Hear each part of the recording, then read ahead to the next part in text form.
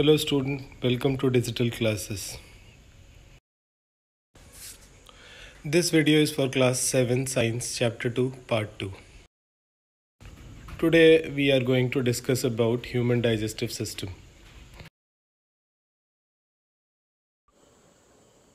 Hello students. Welcome to the digital classes. This video is for class 7 science chapter 2 part 2 it is the second video for the chapter 2 now i am going to tell you about human digestive system. When we eat food it gets broken down into smaller and smaller and soluble substance during digestion. The digested food is absorbed by the body the undigested food and unabsorbed portion of the food is removed, removed from the body in the form of waste material called feces. Now it is clear. In digestion, the food is broken, broken down into smaller and soluble substance and the undigested food or uh, unabsorbed food is removed from the body in the form of waste material. We already read about alimentary canal and the organ involved in it. But there is a gland also associated with the digestive system. The organ of the hum, uh, the organ of human involved in digest, uh, digestive system are mouth, esophagus, stomach, small intestine, large intestine, rectum and anus. The gland which are associated with the digestive system are salivary gland, liver and pancreas. Before we read about uh, this organ that involved in the digestive system in human, but these are the glands also associated or involved in the digestion in human. The glands are salivary gland, liver and pancreas. Salivary gland are located in our mouth or under the tongue also. Liver is a reddish brown gland situated in the upper part of the abdomen on the right side. I repeat, Liver is a reddish brown gland situated in the upper part of the abdomen on the right side. And pancreas is a large cream colored gland located just below the stomach. I repeat, pancreas is a large cream colored gland located just below the stomach. Now I will describe how food get digested in the different or various part of the alimentary canal. Now start with mouth buccal cavity. The organ involved for ingestion of food in human is mouth. The mouth contain, contains teeth, tongue and salivary gland. Teeth used to cut and chew food into the smaller pieces. And saliva which is secreted by the salivary gland a watery liquid mixed with food with the help of tongue. Means the tongue is help to mix the food with saliva that is secreted by the salivary, salivary gland. And the, uh, the saliva is basically the watery liquid. Some uh, you all know or you will check in your mouth when you are uh, talking and anything the watery substance formed inside your mouth that is a saliva. Saliva help in digestion of the starch. Then the again I repeat again saliva help in the digestion of starch then the well chewed food swallowed by the tongue and food goes down into the uh, uh, esophagus. Now, esophagus esophagus is a tube or a food pipe which connects the mouth to the stomach. I think everyone knew. I think everyone everyone knew about perista- pe- peristalsis. Peristalsis. The actual pronunciation pronunciation of uh, this peristalsis. P E R I S T A L S I S. Peristalsis.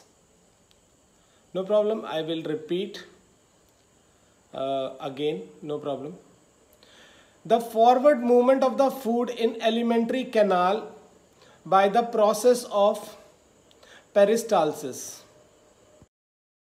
See the movement of food in peristalsis and understand. Peristalsis series of involuntary wave like muscles contract which makes food along the digestive tract. This is how the food moves from upper uh, end to the lower end. Now the question arises, how does it work? Means or uh, what is the process? What is the process of peristalsis?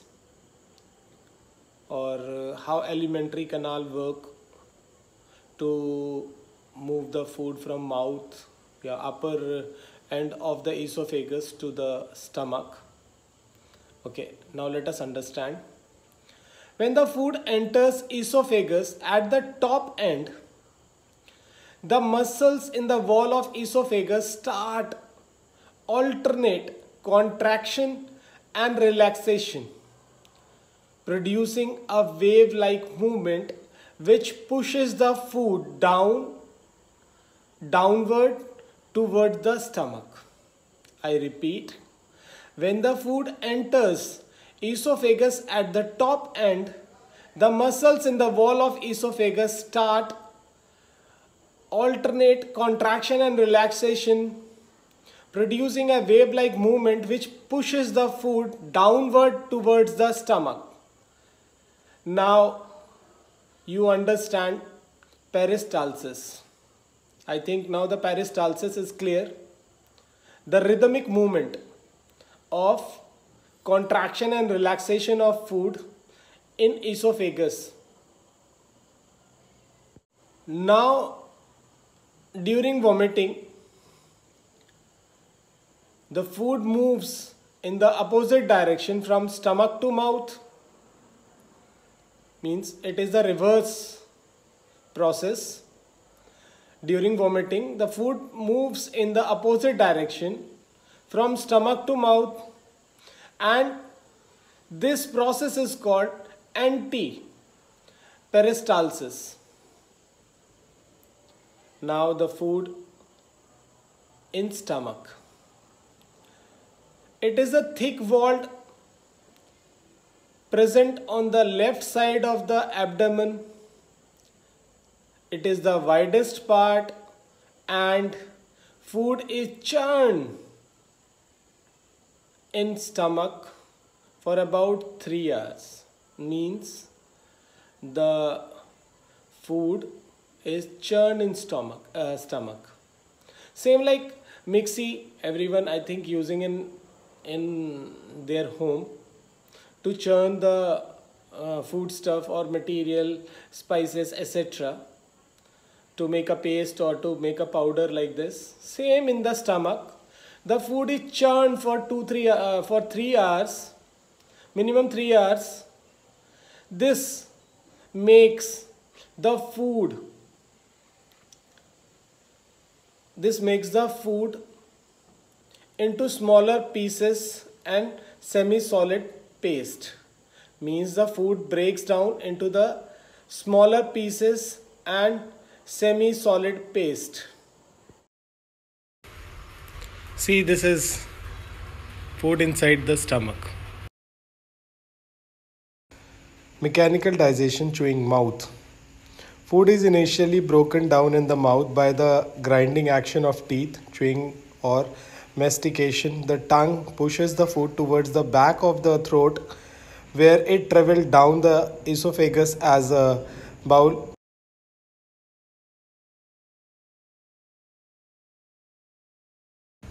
Now the next is churning stomach. The stomach lining contain mucus which physically squeeze and mix the food with a strong digestive juice.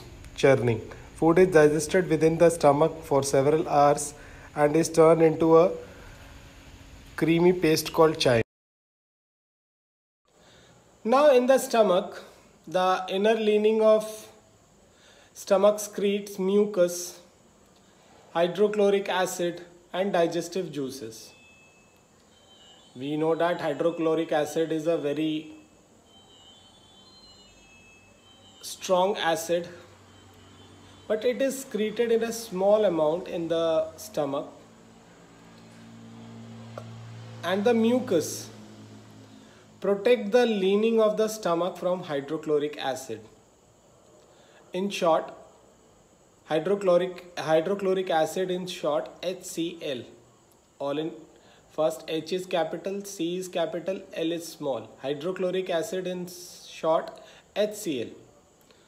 And the mucus that is created by the stomach protect the lining of stomach from hydrochloric acid. Basically hydrochloric acid kills bacteria which may enter the stomach with food. So hydrochloric acid kills bacteria maybe they are harmful for us but during the process of digestion HCl kills the bacteria. HCl makes HCl also make the stomach acidic for the proper action of digestive juice proper action of digestive juice on protein. Means this uh, HCl makes the stomach acidic for the digestion of protein means proteins are break uh, pro proteins are broken down into smaller or simpler substances or soluble substances. Now the partially digested food moves into the small intestine from the stomach. Now the partially digested food reaches to small intestine in the small intestine. The small intestine is a very long tube. It is about 7.5 meter long. Small intestine is very long but it is called small intestine because it is a quite narrow tube and uh, it is arranged in the form of a coil in our belly. Belly means the stomach uh, stom uh, stomach basically front portion the belly. Uh, so uh, small intestine now you all understand about why small intestine are long uh, sorry. This is the highlighted small intestine connected with stomach now the partially digested food uh, reaches to small intestine. In the small intestine, the small intestine is a very long tube. It is about 7.5 meter long. Small intestine is very long, but it is uh, it is called small intestine because it is quite narrow tube and uh, it is arranged in the form of a coil in our belly. Uh, adjacent to stomach. It is a site of complete digestion of food as well as main reason for the absorption of digested food mean the small intestine is the main main organ that is uh, in the digestive system. Because the digestion completes here and the absorption of digested food by the blood also held here